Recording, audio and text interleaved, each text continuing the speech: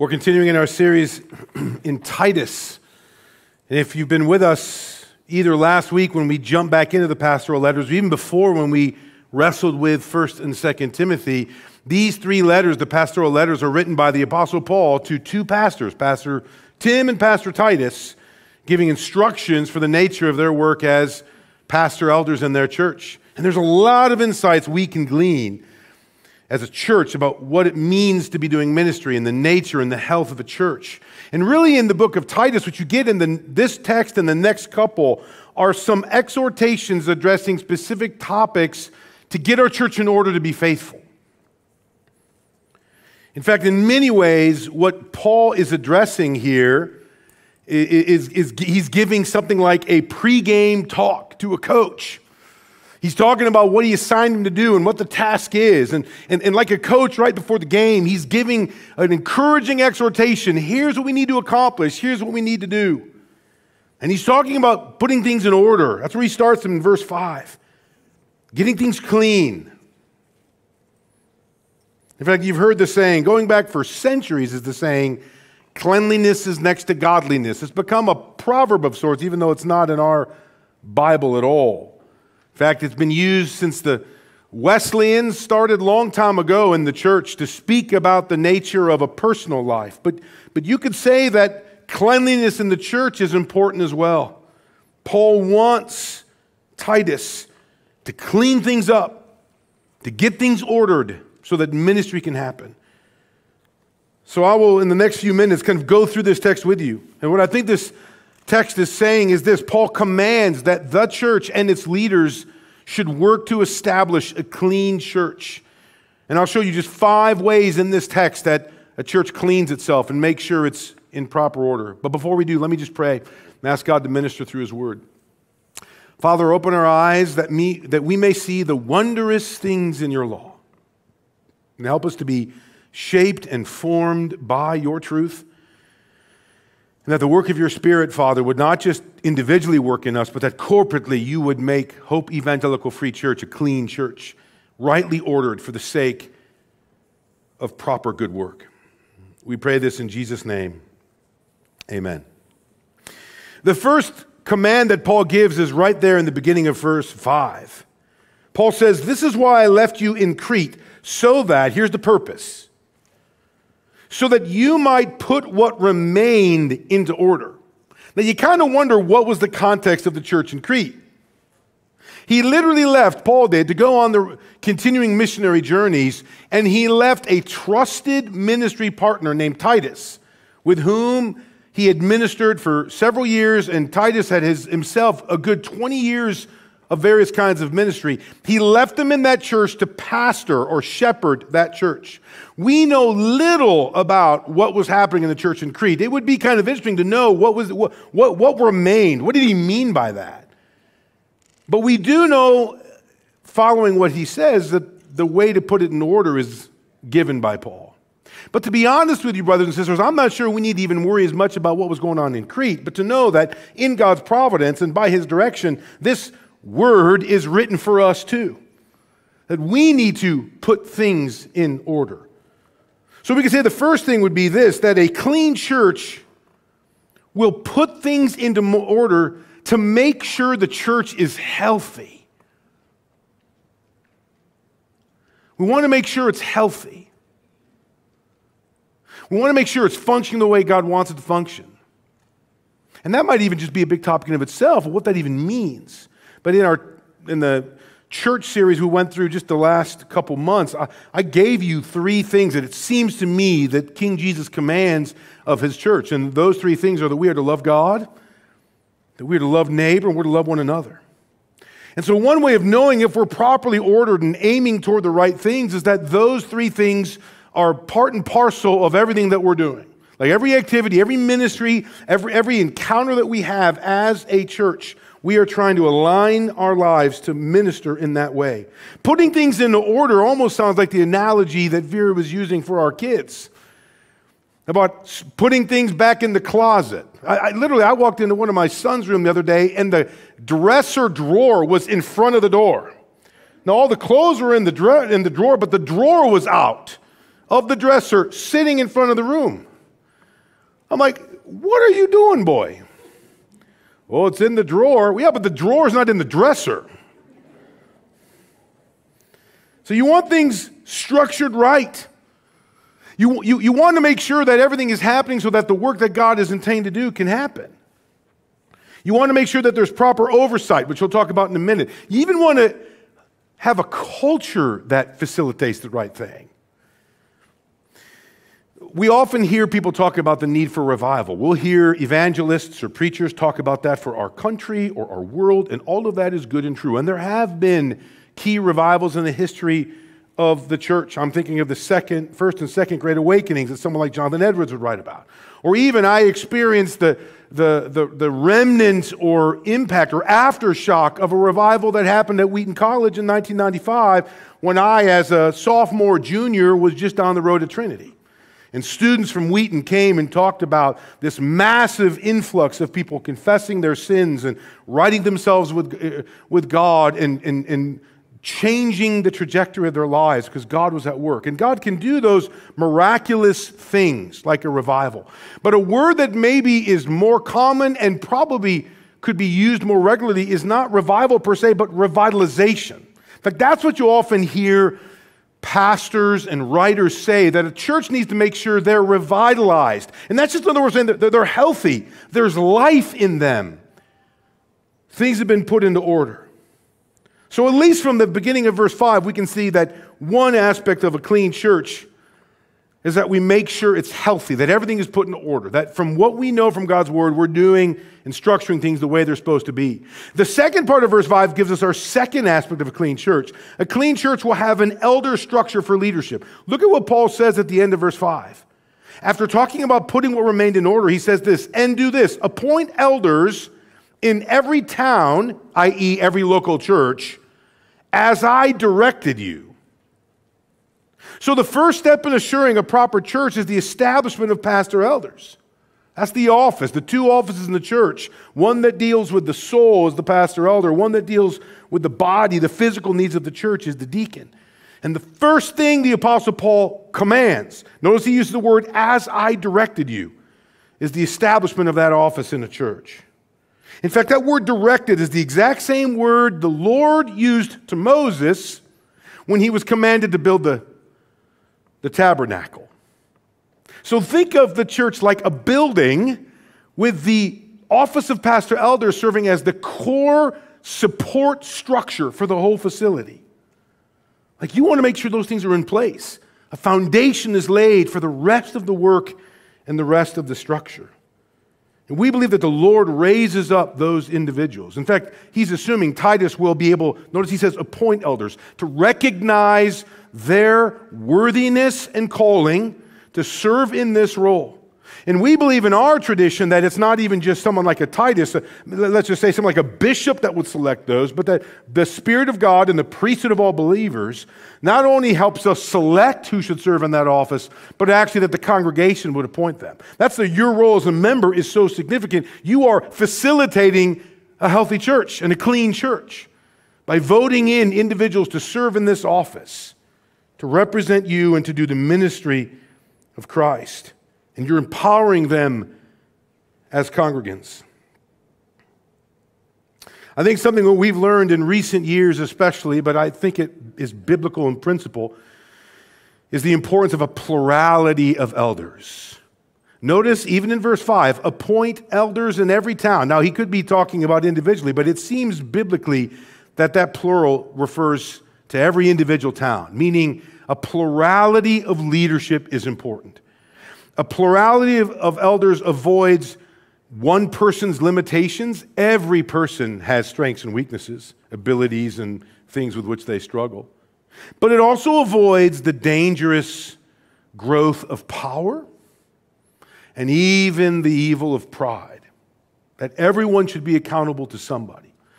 And having a plurality of elders can help avoid that problem, allow for a checks and balances. There, Christianity Today is doing a podcast on a very famous, now ended megachurch and very famous megachurch pastor. Uh, they're doing 12 episodes and they've only released eight of them, and they are going viral. I mean, they're being listened to all over the place. And they're, they're basically a sad story of a downfall of a church that at one time had 15,000 people in numerous states, and a pastor that was world renowned for his celebrity status.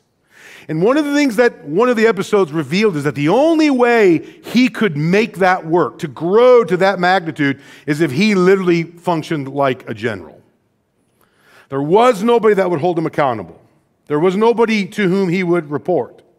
When somebody challenged him, he would not only not receive the challenge, but remove them from any role or office. And the other elders involved were basically yes men, allowing him to have that power.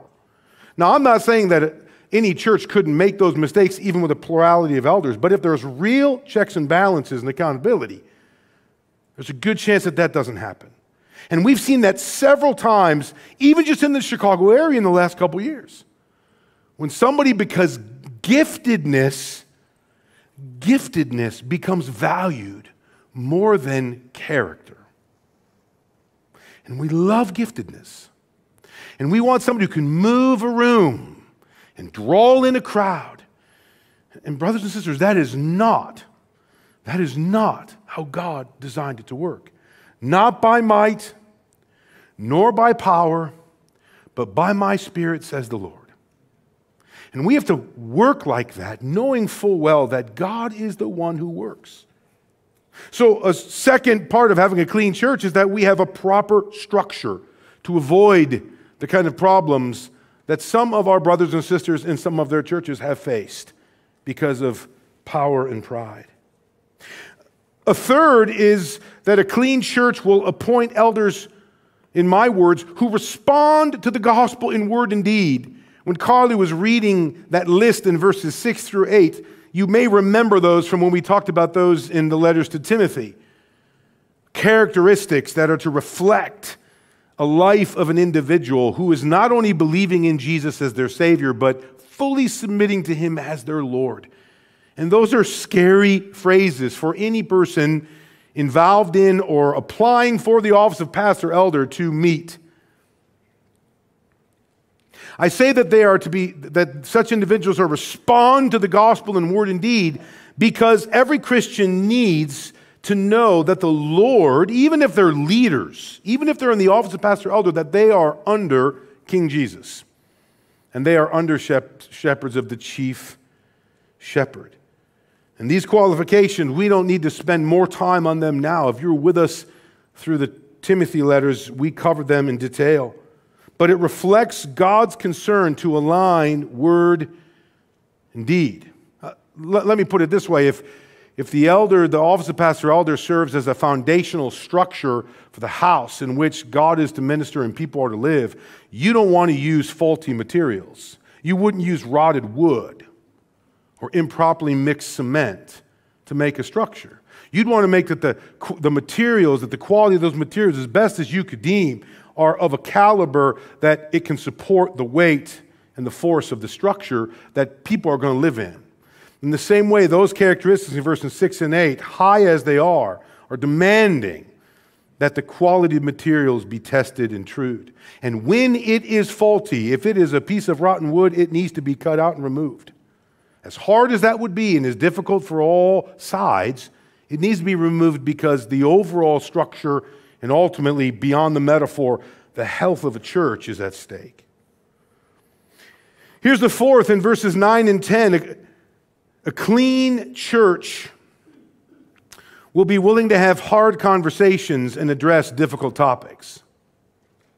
I think this is especially true of pastors and elders. And I think so does the Apostle Paul. Look at verse 9. After listing all those characteristics, here's what Paul says He, the, the elder, must hold firm to the trustworthy word as taught, so that he may, notice there's two things, one positive, one negative, so that he may be able to positively give instruction to sound doctrine and negatively to rebuke those who contradict it. Now, I, I, keep hearing more and more people say, and I, I don't doubt them when they do, I think it's true, but I regularly hear people say, oh, I'm not good with conflict. I don't think anybody's necessarily good with conflict. I mean, we're being honest, nobody likes to have those conversations. Nobody likes tension. Some people may be more averse to it than others, but nobody likes to have those hard conversations. And we're also in a culture where tolerance is a virtue, where we don't want to judge, where we've privatized everything. So you do what you're going to do, I'm going to do what I'm going to do. So these, those conversations even lack availability or ability to even engage with them. So it's one thing if we're just going to lead a study on God's word and talk about what is true. It's a whole other thing when you have to sit across from somebody, somebody you know, somebody you may be known for 10, 15 years, and you've got to have a hard conversation. Now, in this text, clearly Paul is saying that a pastor elder in that office is supposed to not only teach what is right and true, but look at the phrase there must be able to rebuke those who contradict it. And then he kind of explains why in that first half of verse 10. For there are many, and man, I wish he would have said there are a few, or there are once in a while one that'll pop up, but he used the word many. For there are many who are, here are the phrases, insubordinate, empty talkers, and deceivers. What does he mean by those? Like, if we could click on that as like a hyperlink, what is Paul talking about? Brothers and sisters, it is hard in church to have hard talks. Everybody loves the priestly role of a pastor when they're by your bedside or they're officiating a funeral or they're with you taking a call after a doctor's report, and rightly so, pastors and elders should serve in that capacity. But there's a, beyond the priestly role, there's a prophetic role, not foretelling, but forthtelling, rebuking, having hard conversations that are less enjoyed. John Calvin says it this way a pastor needs two voices one for gathering sheep and the other for driving away wolves. And it's pretty hard to have two voices at the same time. But if we're actually caring for a flock, we're not only want to welcomely, lovingly gather the sheep and care for them in a priestly way, but we also want to make sure that we don't just allow that wolf to sleep right next to him and partake in the flock. Like sometimes you have to have those hard conversations. And we need to know that ultimately, that kind of conversation isn't just going to happen by pastors and elders. It's going to be the sheep themselves who will hear a level of insubordination toward the Lord, toward the authorities put over them, that, that will hear kind of empty talk, or even a distortion of the truth and what is right and good that could so damage the sheep that they themselves, maybe not shepherds or under shepherds of Christ, they want to speak into that. They want that to be cleaned away because they care about a healthy church. In fact, if we're really loving God, loving neighbor, and loving one another, we will address that. And we're not just addressing that because everybody who becomes that way or acts that way is a wolf, but sometimes for their own sake, we need to have those hard conversations. Again, we are in an age where it is much easier for us and seemingly allowable for us to say, well, that's on them. Well, actually, brothers and sisters, it's kind of on us too. We got to be willing to have some of those hard conversations if we want a clean and healthy church. Last thing, and this is verses middle of verse 10 all the way to the end, but related to what we just spoke about, a clean church will teach what is biblical and confront lies and disobedience. Paul gives numerous examples of this, but he starts with something called the circumcision party. Circumcision was a ceremonial symbol in the Old Covenant that was specifically for the nation of Israel.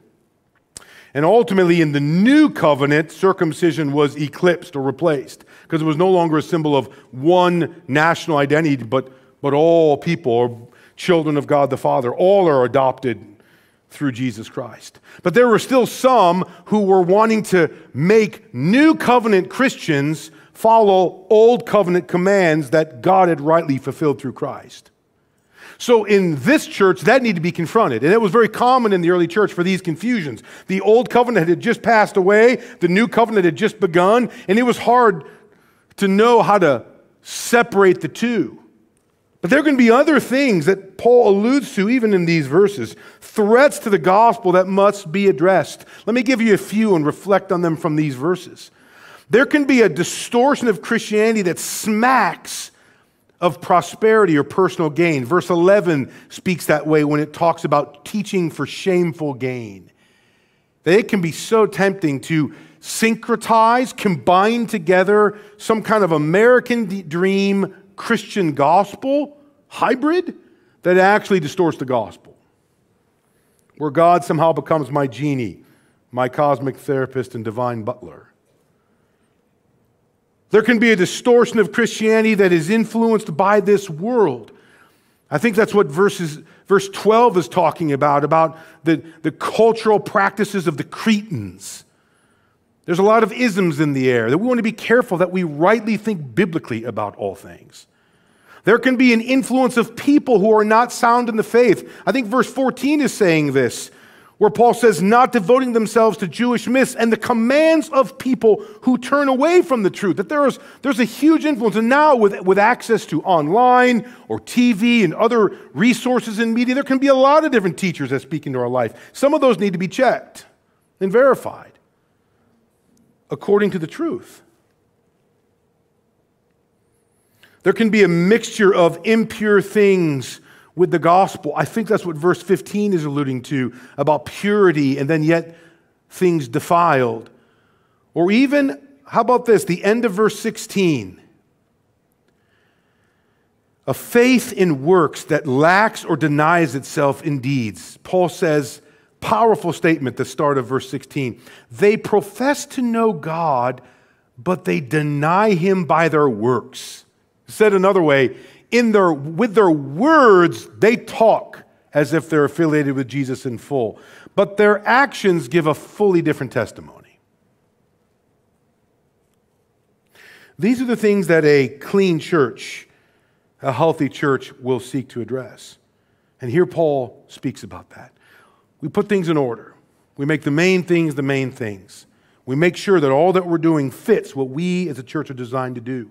We establish a structure of pastors and elders to serve as overseers and caretakers for God's flock. We make sure that these individuals are of the right quality and caliber because their role is foundational to the structure and that there's a plurality of them so that they themselves have a check and balance, even with a congregational government. We're willing to have hard conversations. we will talk about things. We'll talk to one another. We'll actually love one another, not just like, well, that's on you. Would you do that to your kids? Would you do that to your sister?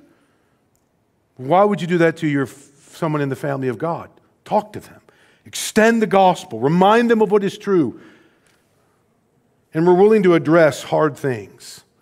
We'll have conversations in this church that help us think about all the isms and all the cultural impact and how to think biblically about everything. And if we do that, then maybe, maybe we're starting to look healthy. Maybe we're taking what is there and it's cleaning it up. And it may not be a revival as only God can do, but there's a revitalization that's happening to make a church healthy. Well, Paul ends with a statement in, of rebuke to those that need to be confronted, but I wonder if it could be reversed. Paul says this at the very last few words of our text. He says, They are detestable, disobedient, and unfit for any good work. Imagine those people just allowed to roam freely among the sheep and never have it addressed. Imagine those truths taught and floated around and never spoken to. Imagine trying to walk in a room not with clothes on the floor, but a dresser drawer. Cleanliness is next to godliness. Put the dresser drawer in the dresser. Make sure that what is true is presented. Make sure that the structure has got good materials. Make sure that there's plurality so that no ego or power can run the day. Make sure that we're not afraid to have hard conversations because we love people and we're worried about them. And make sure that we're not afraid to talk about hard issues because it's a complex world. And God is a gracious God that wants us to think biblically about everything. So I'm going to pray for Hope Evangelical Free Church as I close our message today. And I'm going to pray that God will make us a clean church in contrast to how verse 16 ends, that we would be honorable, that we would be obedient, and that we would be fit for good works. Let's pray. Father, thank you for the way that you care about our church, not just the church in Crete, not just their pastor elders, but you care about Hope Evangelical Free Church. And Father, I pray that you would, even though with, with, with fear and trembling we say these words, we pray that you would put this church into order in any area or any way it is lacking so. That you would strike against what is untrue, where there is pride, where there is sin, where there's any sign of unhealth. Father, would you, by your grace and mercy, purge it from our midst and help us to be a church that is clean and healthy? Father, thank you for the provision you've given to this church for many years. And for your sake, your glory, Father, for the good of this family of God, and even for our mission to the community, we ask for you to help us to be a clean church. We pray all this in Jesus' name. Amen.